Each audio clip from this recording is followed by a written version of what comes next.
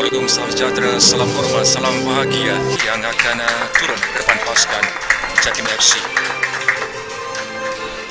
Aksi di minggu yang uh, ke-8 ini. Masa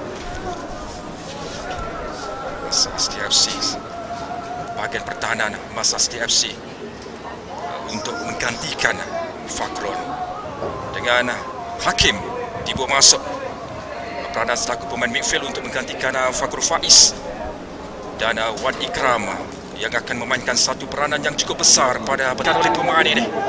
Dia melihat terlebih dahulu di manakah kedudukan rakan-rakan. Cantik hantaran bagaimana dua pemain yang menanti di ujung sana.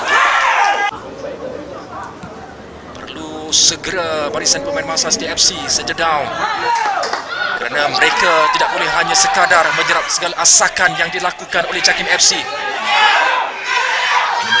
merupakan uh, satu pergerakan yang cukup baik untuk masa STFC ada rempuan. Tetapi teruskan kata pengadil mungkin percubaan terus yang uh, dilepaskan. Hakim yang uh, berada di sebelah sana. Masa dengan uh, kemarahan dari sebelah kanan. Masih lagi mencari ruang empat pemain yang mengawal dia di seberang sana. Masih bersukar untuk melepasi ya dua pemain Jakim FC masih lagi ya meluru ke dalam kawasan kotak penalti ada ruang. Oh miss kick daripada ketua pas 5 6 7 pemain yang berada dalam kawasan sendiri. Advantage. Sudah pasti dah kembali diteruskan.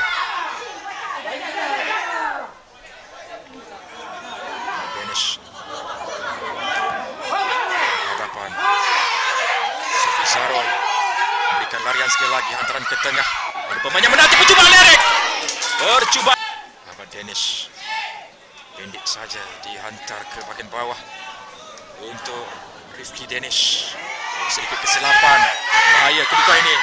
Terus saja dicuri dengan cukup baik. Teruskan ke depan. Percubaan. Oh.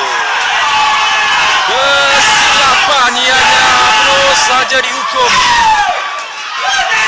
Saingan Alisan Cup edisi 2023 ini. Sekali lagi hantaran bola dihantar empat pemain yang menanti ya, dalam kawasan uh, Jakim FC. Baik hantaran ini dan percubaan oh.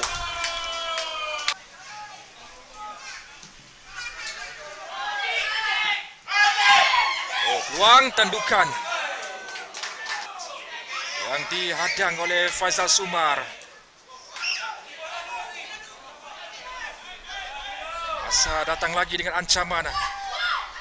Juga dari sebelah kanan namun dipatahkan oleh Haziq Syakir. Satu kontak attack yang diatur, satu lorongan yang cukup baik. Ruang ini dimiliki oleh JKFC percubaan deras yang dilepaskan ini melalui Sofi Zarul. Hilang bola agak sedikit merugikan.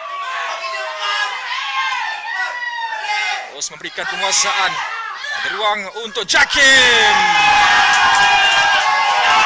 Akhirnya Haris Sazri berjaya meledak jaringan yang kedua untuk Jakim FC. Defisit jaringan. Ulang bola. Rizwan Azli dihantar ke sebelah sana sekali lagi mencari Aris Sazri. Ada sikit ruang untuk Aris Sazri. Dihantar ketiga percubaan. Oh lepas. Namun ada rakan yang datang membantu. Cuba untuk dileparkan kepada Dennis Saufi namun tidak sampai. Dennis Saufi melakukan larian dari sebelah kiri. Bagaimana kali Dennis Saufi cuba untuk menjeruang. Cuba untuk melakukan acahan. Perempuan kepada Sofi Zarol. Sofi Zarol. Oh.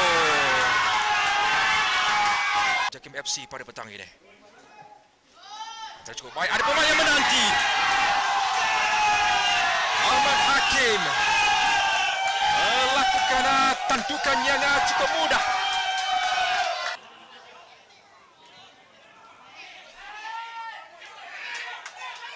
Syamudin. Percubaan daripada Syamudin. Pemain Jakim FC berkampung dalam kawasan sendiri. Hanya Badrul saja berada di bahagian atas. Terus saja diambil satu tandukan. Padang untuk masa STFC. Akan percuma. Raja Lencong tak ada pemain yang menanti. Tigers memangnya ingin uh, menang bergaya pada petang ini. Tidak mahu dibolosi walau dengan satu jaringan. Perhatikan asakan uh, dari Jakim FC. Berjaya lepas, hantaran ke tengah ataupun satu leritan. Bagaimana jaringan? Jaringan yang uh, keempat. Berjaya dijelmakan oleh Jakim FC. Cubaan daripada Fazilah tepat ke arah Arif Haikal. Dan itu adalah merupakan uh, percubaan terakhir yang dilakukan oleh Fazilah dengan uh, whistle panjang dan uh, keputusan masa penuh, keputusan semasa masa City FC 0 Jakim FC 4. Terima kasih kepada anda yang bersama kami.